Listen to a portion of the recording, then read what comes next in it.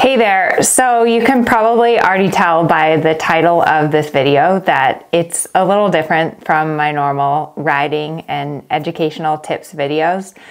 And this is something that's kind of hard to share. It's something that I've kept to myself for a long time now, probably like six months total. Uh, but my goal with this channel is to help everyone and to help you enjoy your horses, to help you be happier, to enjoy your life, to be more fulfilled. Um, and that really is important to me. And so, as much as like what I share on social media and a big value of mine is to be positive and to encourage one another and to always see the good in everything. The truth of the matter is that sometimes things happen in your life or you're struggling with something that's really hard and that you like maybe don't want to share or you're upset about or you're embarrassed about. And so, my hope with sharing this is that it encourages you. If you're struggling with something, whether it's physical, whether it's emotional, um, I hope that this story kind of gives you some hope, gives you some ideas, and also if you've overcome something in your own life, if you've struggled through something, if you've overcome an injury, um, comment down below and let us know because, like I always say, this community is amazing and together we are stronger. So that is so important to me.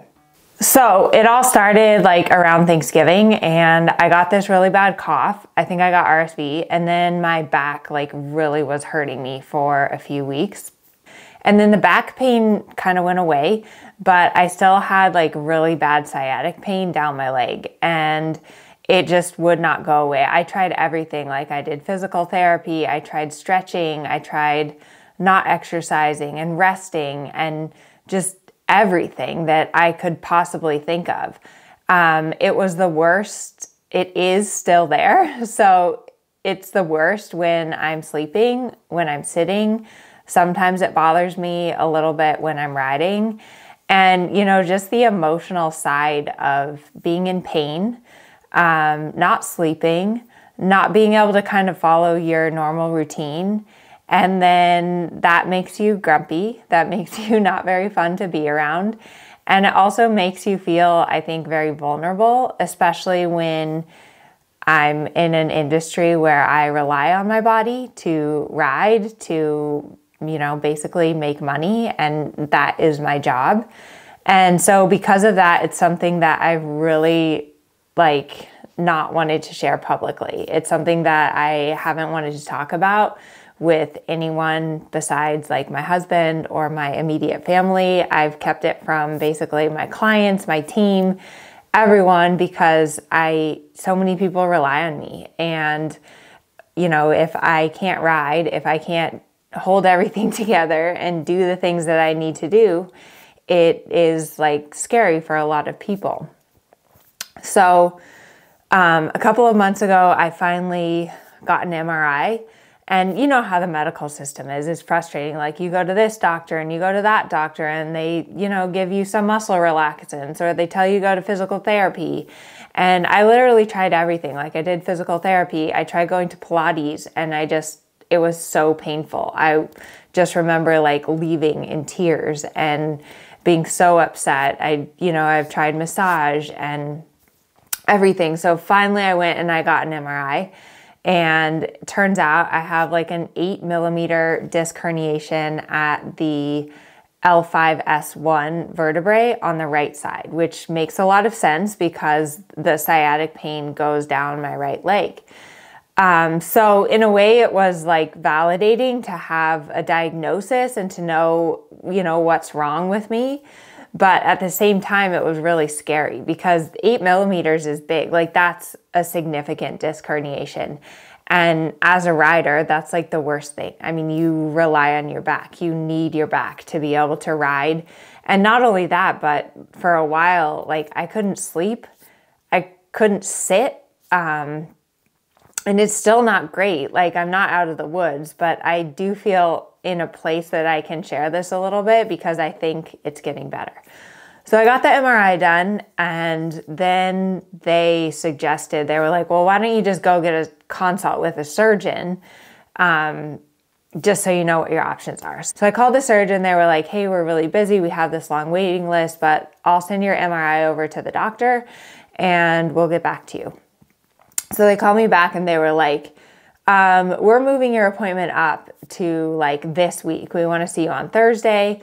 So I was like, wow, okay, that's that's really bad. Um, so I went and I met with a neurosurgeon, which is, you know, it's scary, like to think about that. And and when I went to meet with a neurosurgeon, it was kind of when I was at my worst. Like I was in so much pain. I was taking so much ibuprofen all the time that I seriously think I was going to get a stomach ulcer. And so I went and I met with a neurosurgeon thinking, okay, like I'm going to have surgery. That's just, I have no other options. I can't live like this. Like it's terrible. Um, I need to have surgery. And so I went there and he talked through the procedure. And it's not, I mean, it's an arthroscopic procedure. It's pretty minimal. But then he told me that they basically like, they have to drill through your bone, they have to go through your ligament, they shave off the part of the disc that's protruding. Um, and I'm sure that if I did the surgery, I would have some like instant relief from the neurological symptoms, like from the nerve pain that I have down my leg. Because I don't know if you've ever experienced nerve pain, but it's like the worst kind of pain. And it's just, it doesn't matter what you do, you can't get rid of it. So after I met with a surgeon, I was just like, I don't want to have surgery. Like, I'm going to do everything possible to avoid having surgery because so many people that I know that have had back surgery, it works and they feel a lot better, but they end up having another surgery and another surgery. And that area is compromised. I mean, it's already compromised, but once you go in and you do surgery, then it's even more compromised. So I'm really determined to take care of myself. And I think that a lot of times, in life, we think that there's like this easy fix or one thing's going to solve the problem or that you're just going to wake up and suddenly it's going to be fine or that, you know, surgery is just going to be the magic cure and fix everything. And sometimes it is. I'm not saying that um, surgery is not, but for me, I really want that to be the last resort. Like, I really don't want to have surgery and I might have to. But basically, what I'm trying to do is change my lifestyle a little bit, and do everything that I possibly can to avoid it. So, some of the lifestyle changes I've made, I've tried every way of sleeping. I used to sleep on my side. Um, for a while, I had to sleep on my stomach because that was like the only way that it would kind of be comfortable for me. Um, now I'm sleeping more on my back, but sleeping has been a real challenge. And it's so hard because people tell you, you know, you need to rest, you need to take care of yourself. Well, when you can't sit, like I can't sit in the new sofa that my husband and I got. So I can't sit, I can't sleep. Pretty much the only thing that makes me feel better is walking. And luckily, a lot of times riding makes it feel better. Um, so I've started in the morning instead of getting up, and I, I usually get up at five, and I would always come in here and sit at my computer. Now, what I do, I got a treadmill, it's back there. So I got a treadmill that goes under my desk. I get up, I walk on that every morning. Um, I try to stay really hydrated.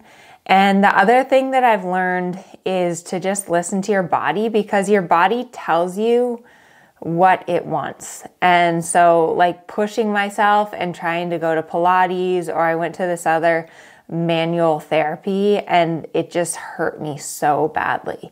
And especially when you have nerve pain, is like you have to listen to your body and do what your body wants. Your body is going to tell you the kind of stretches and the kind of movements that it wants. And for a long time, I couldn't really even exercise because every time I would move, it would just hurt. And that's like terrible feeling. I mean, it makes you so depressed. And especially for me, because a lot of times exercising gives me that dopamine and it makes me feel good.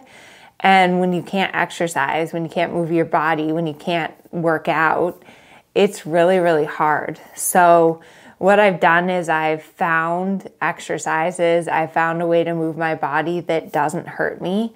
There are certain things that I can do, um, like walking. I can do I can do lunges, I can do squats. I can't stretch my hamstrings. I can't like there's a lot of things that I can't do, but I really believe, and I've tried, like, even though I've been in so much pain for these last six months, I've tried to just move my body every single day.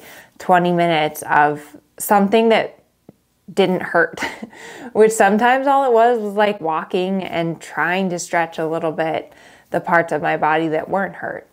Um, but it's been really hard. And there's been days that it's just like, you know, I can't live like this. Like, I can't um, I can't go on like this. And it's scary because I love to ride, and that's what makes me so happy. And when it started like hurting when I was riding, that's when I was just like, I, you know, I can't do this anymore. Um, so I just wanted to share this with you guys. If you're struggling, if you need help, we're always here for you. And I think that the beauty of horses and riding is that they are our passion and our love, and they're what keeps us going. Um, because you're going to have things in your life. You're going to have, you know, tragedy or emotional pain or physical pain, and you just have to keep going. You have to try things and believe in yourself and try to keep your optimism and like do things to take care of yourself, spend time with your horse, um, and just keep going because it's going to be okay. I really believe that it is going to be okay. So, thank you for listening. Um, comment down below if you've struggled with something and what's helped you to overcome that. Um, hopefully, I, this video has helped you. It, maybe you've struggled with something, maybe you've overcome um, pain or an accident and manage to get through it because I think that we always end up coming out stronger, learning more about ourselves and what we need to do to take care of ourselves. And I really believe that everything happens for a reason. And having kind of this injury and struggling with it has made me make some changes and take better care of myself and reprioritize what's important to me. Um, so, yeah, I will keep you guys posted and fingers crossed that we're on the uphill side of the back pain saga. Um, I'm going to try not to have the surgery and yeah, I hope it works, but it's definitely something that I'm going to have to take care of myself. And it's something that's going to be there. And I'm going to have to figure out how to manage it so that I can ride and I can sleep and I can sit on the couch with my husband. It's all those little things that you take for granted. And then when you can't do them, um, it's hard. So thank you for listening. And um, I hope this helped you.